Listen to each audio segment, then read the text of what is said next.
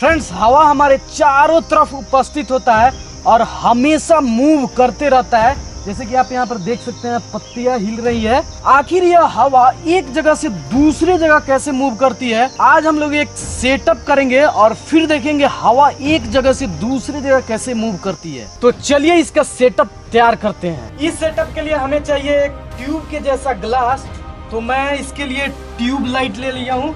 और इसको मैं यहाँ से और यहाँ से काट दे रहा हूँ। मैं इसके लिए सिंपली एक ले ले रहा हूँ कॉपर वायर और इसको मैं इलेक्ट्रिक करंट दे करके गर्म कर दूँगा जिससे यह ट्यूबलाइट कट जाएगा।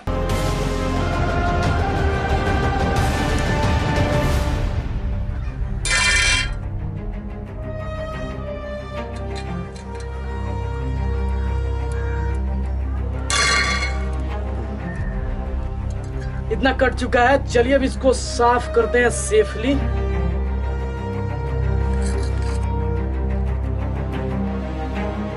ग्लास साफ़ हो चुका है। अब मैं ले ले रहा हूँ दो बकेट और कुछ इस तरीके से इसको फिक्स कर दे रहा हूँ। ऐसे।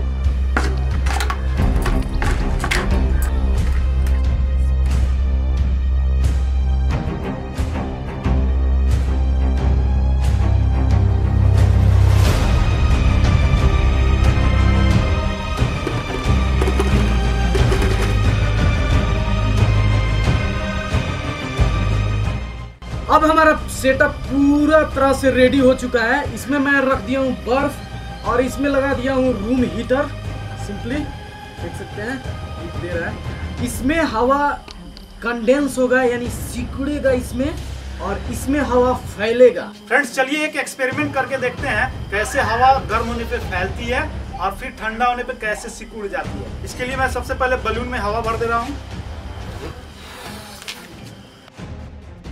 अब मैं सिंपली इसको ठंडा करने के लिए लिक्विड नाइट्रोजन का यूज़ कर रहा हूँ।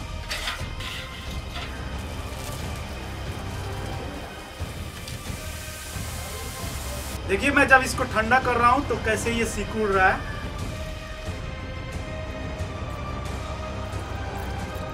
देख सकते हैं, इस बलून में का हवा एकदम ठंडा होकर सिकुड़ चुका है। अब मैं जैसे ही इसको बाहर रखूँगा, हवा गर्म होने लगेगा और ये बलून फिर से फूलने लगेगा। चलिए देखते हैं इसको। देख सकते हैं, यह गर्म होने के बाद कैसे फैल रहा है।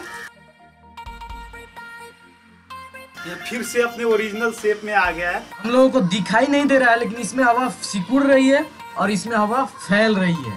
चलिए इसको देखने के लिए मैं अगरबत्ती का यूज़ कर रहा हूँ, क्योंकि हम लोग धुआँ को देख सकते हैं। इस ठंडा वाले में मैं अगरबत्ती ले जा रहा हूँ और इसका धुआँ देखिए। वो मूव कर रहा है। दैट्स रियली ऑसम ठंडा वाले बकेट में हवा सिकुड़ रही है और गर्म वाले बकेट में हवा फैल रही है। इसलिए ठंडा वाले बकेट से गर्म वाले बकेट की ओर हवा बहने लग रही है। अगर मैं इस अगरबत्ती को गर्म वाले साइड में ले जा रहा हूँ तो यह ठंडा वाले साइड में मूव नहीं कर रहा है। इवन मैं इस अगरबत्ती को इस ट्यूब में भी लगा दे रहा हूँ, फिर भी यह ठंडा और नहीं जा रहा है। और मैं जैसे ही इस अगरबत्ती को ठंडा की ओर रख रहा हूँ तो यह गर्म की ओर मूव करने लग रहा है। इस बकेट का तो हालत खराब हो गया है। तो चलिए मैं इसको अलग रख दे रहा हूँ। और देख सकते हैं, अभी भी इसमें से स्मोक निकल रहा है। ठंडा की ओर से गर्म की ओर आ जा रहा है। अब मैं इस गर्म वाले बकेट में अगरबत्ती ले जा रहा हूँ। और देखिए ठंडा की ओर नहीं जा पा रहा है रिटर्न आ जा रहा है। इसको और ज़्यादा विजिबल देखने के लिए यह कैसे मूव कर रहा है? ठंडा वाले बकेट में लिक्विड नाइट्रोजन डाल दे रहा हूँ और इधर तो गर्म है ही तो फिर देखते हैं कैसे दिखाई दे रहा है।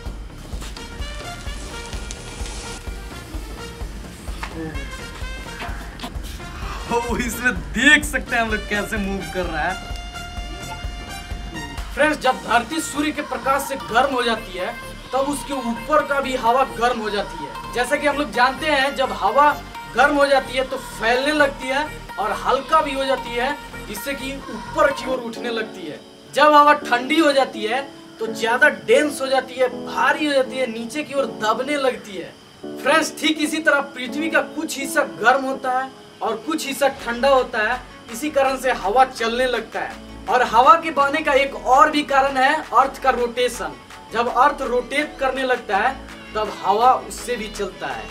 तो फ्रेंड्स आपको यह वीडियो कैसा लगा हमें नीचे कमेंट करके ज़रूर बताइएगा। अभी तक आपने चैनल को सब्सक्राइब नहीं किया तो सब्सक्राइब करके बेल आइकन दबा दीजिए। इसी तरह के साइंस वीडियोज़ आते रहेंगे इस चैनल पर। Thank you